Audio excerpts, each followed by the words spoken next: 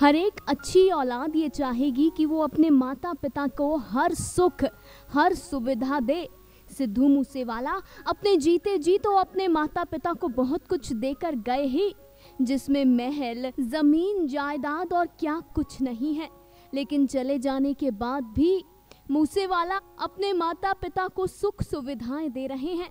सिद्धू के निधन के बाद उनकी खरीदी हुई वो चीज़ें आ रही हैं जो मूसेवाला जाने से पहले लेकर गए थे।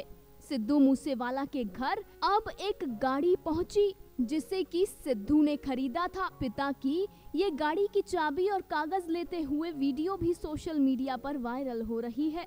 माता पिता भी सोचते होंगे कि तमाम दौलत ले लो, शोहरत ले लो, महल ले लो, गाड़ियाँ ले लो बस हमें हमारा बेटा लौटा दो। Final cut news desk.